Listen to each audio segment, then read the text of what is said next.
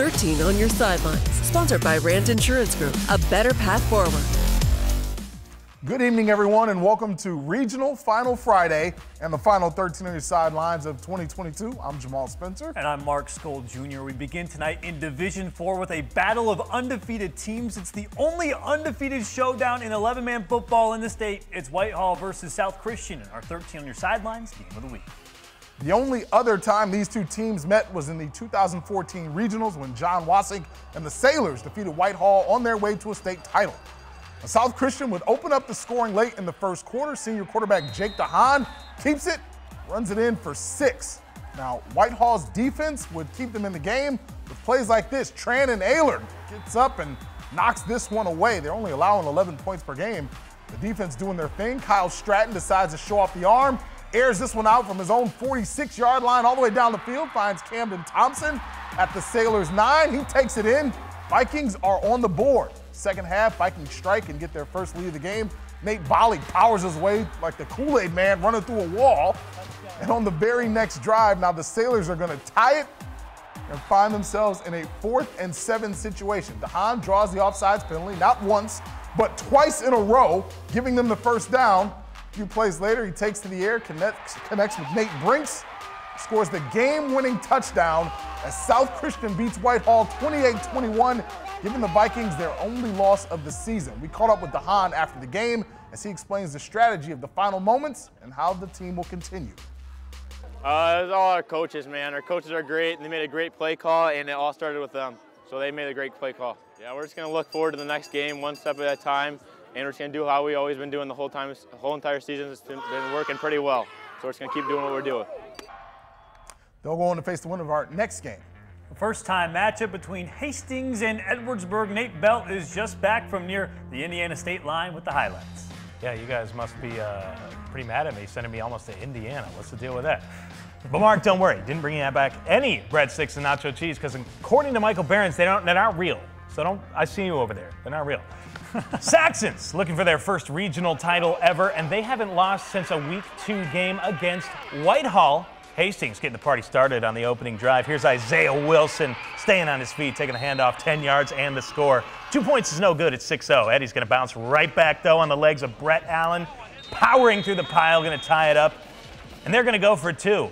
It's Allen again. Get ready to hear this kid's name a lot because he had a game. Asking the hard hitting questions. What's an Eddie? Eddie's just a guy. Brett Allen, he's that guy. Look at that cut through the hole. And he is gone. He's going to chuck up the deuces here. Little Tyreek Hill. Longest play of the game by far. Eddie's go for two again, and who else but Allen? He's going to come down with the tough catch here. He outscored the entire Hastings team by himself in this one. Eddie's win 24 14. South Christian snapped Grand Rapids Catholic Central's 42 game winning streak back in September, but since then the Cougars have outscored their opponents by 36 points per game. Tonight they hosted Portland in Division 5. It's the first ever meeting between these two teams after COVID 19 forced Portland to forfeit their 2020 playoff game. We jump to the second quarter with CC leading 7 6. Billy Mikolay picks up the rolling punt, makes a man miss, saying Ole before he heads outside and takes it back all the way for a 14 6 lead. The Raiders respond as Mark Nobis finds Drew Miller wide open for a 40 yard score on fourth down to cut the lead to two. It's Miller time. Before the half, the Cougars look to make it a two score game. Connor Wolf shovel passes it to Kellen Russell Dixon, who does the rest for a 39 yard score and a 21 12 halftime lead. Opening drive of the second half. The Nobis to Miller fourth down connection works for a big gain into the red zone. That leads to a short TD as Portland cuts the lead to 21 19 after three. The Cougars put the game away in the fourth as Connor Wolf isn't crying wolf. He calls game. Catholic Central wins big, 42-19.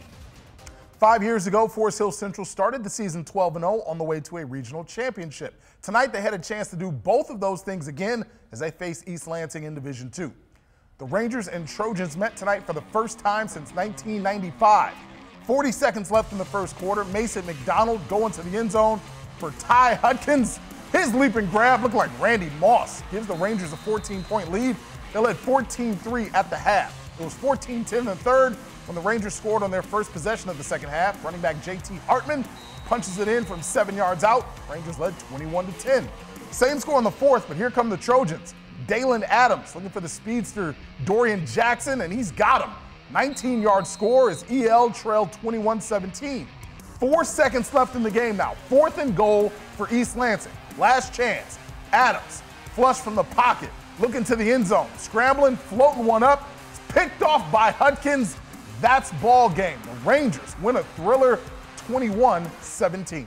What a finish. In Division 6, West Catholic faced Lansing Catholic tonight for the 10th time overall and the sixth time in the postseason. The Falcons came into tonight riding a four-game winning streak that has them averaging 42 points per game. We're scoreless through the first quarter, and in the second quarter, the Air Force commit Tim Kloska goes for the corner, and he's got it. The five-yard touchdown gives West Catholic the 7-0 lead. In the second half, Lansing Catholic kicks it off to the Falcons. Nolan Reinhardt misplays the ball in the air, but it does not matter. He heads upfield, breaks a tackle, and then Reinhardt, like NSYNC, is tearing up the hearts of Lansing Catholic as he goes 87 yards for the touchdown. It's 14 0 West Catholic. Still in the third quarter. Touchdown, Timmy. Kloska rushes for his second score of the game, this time from the one. It's 21 0 and the Falcons did not keep their foot off the gas all night. Bernie Varnesteele throws it up to Ryer Snow for the 41 yard touchdown.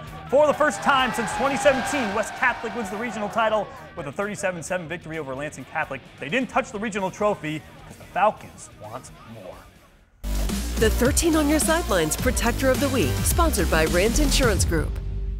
It's time to hand out some hardware as we honor the 13 on your sidelines protector of the year. It's going to be an O line that's been money all season. The big guys up front from the Muskegon Big Reds. Last week against Coopersville, Muskegon put up 40 points on 358 yards of offense. The Big Reds have put up 37 points per game this season, and the offensive line helped quarterback M'Khi Guy become a two time 13 on your sidelines MVP of the week. The line is made up of Nakari Lane, Carl Brooks, Miguel Botello, Kai Wynn, and DeAndre Hudkins. Tomorrow, the Big Reds will host Zeeland West in Division Three regional action. It's a rematch of the 13 on your sidelines game of the week from Week 5 when the Ducks won 38-36. That's a 1 p.m. kick at Hackley Stadium. Also tomorrow, Caledonia's coming off that revenge game against Rockford. The Scots will try to keep momentum going as they host Grand Ledge. That will be a 1 o'clock kick at East Kentwood. In Division 5, Oak Ridge will host the undefeated Gladwin Flying G's in their first ever matchup. That one starts at 2 at Erickson Stadium. And finally, in 8-player Division 1, Martin will host the Brown City Green Devils at 1. The winner gets a trip to the state finals at the Superior Dome. Coming up